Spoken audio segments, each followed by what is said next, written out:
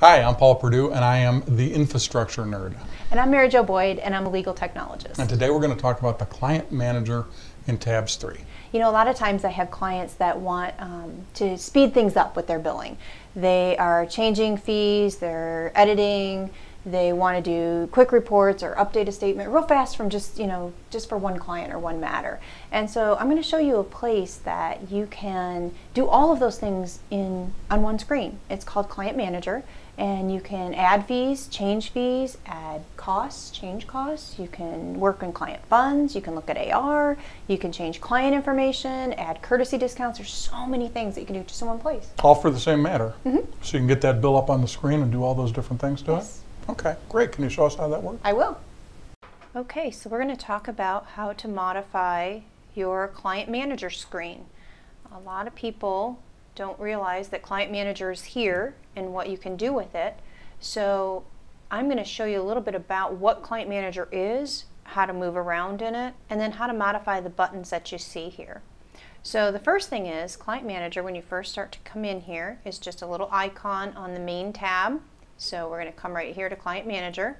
If you do a lot of billing or modifying of um, anything, fees, costs, payments, this is a place to do it. You can see everything at a glance. We've got who the client is. You can search by matter, um, either by name search or by the number if you know it. Brings up that matter. This is a matter by matter specific screen, so you see that. If you want to go into um, any of the details for the client, you can click on the little link here right next to the number. So if I click on that, it takes me into my client information.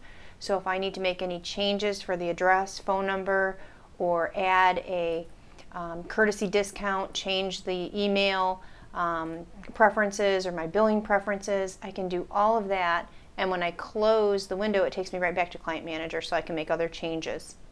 So any of those client information changes, you can click on this link.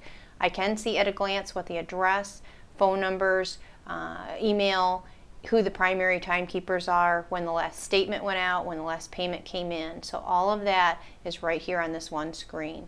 You can also see at a glance what their AR balance is, what you've already billed the client and what they owe you at this moment. You can also see what is out in work in process. So I can see the fee WIP, the cost WIP, if there's been any payments that have come in and have not been included on a statement, those would show here. And I can also see if they have any money in client funds. The other nice thing about these is each one of these is a button that I can drill down into to get to more specific information. So if I want to see how old this AR information is or balance is, I can click on the AR balance button and it will show me how many um, days out my fees are due, my costs, uh, my totals, and I can also see if they have a trust balance. So that is a nice place there to look at that. When I close that window, if I have to make any modifications or add new fees or costs, I can come in and click on the fee WIP button. It'll take me into a list of all the current WIP. So if there's a specific one um, that I need to make changes to, I can see that and click on it and go directly to it. There's also reference numbers, so if you use those, the reference numbers are right here on the screen, so I can quickly go to reference number two, um, say OK, takes me directly to that fee entry so I can modify it, either my hours worked or maybe something was spelled wrong in the description. Any of those things, I can make those changes right here. If I change my view here and show the list down here at the bottom, I can also then right from here click on any other fee entry if there's others in this uh, particular matter that need to be changed. I can do that right here. I don't have to flip back to Client Manager and come back in. I can change any other reference numbers or things that I need to change right here. When I close this entry, um, it takes me right back to Client Manager. If you're using your verification list, that would pop in between, but once you've either viewed it or closed that verification window, it will take you right back to Client Manager. It's the same thing with cost.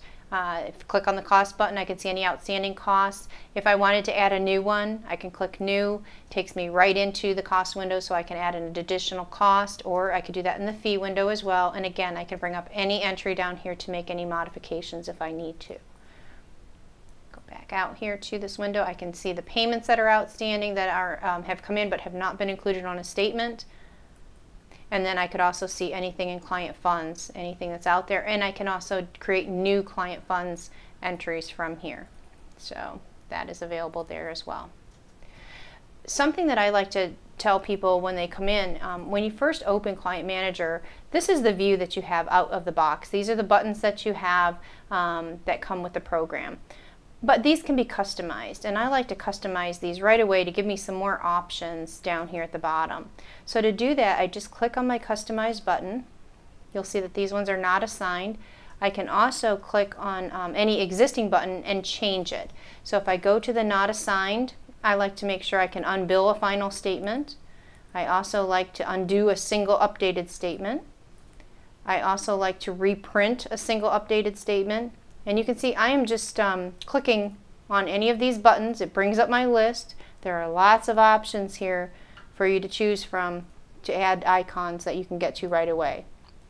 I also like to get the write off and I change the detail work in process to the write up and down.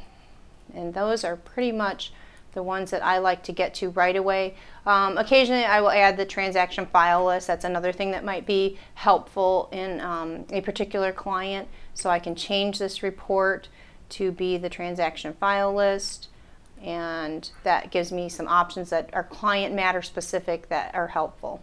Once I get that done, then I can just click my run again, and then I can run any one of these uh, options by just clicking on that icon. So here I can come into reprinting an updated statement. I can choose the statement. It's just a direct access to that particular report uh, or option. So that's Client Manager. I hope that helps, and uh, we'll talk to you soon. So that's Client Manager. Everything on one screen in one place to make everything faster and easier. Awesome. And that's just one more way that we can help you to worry less And practice more.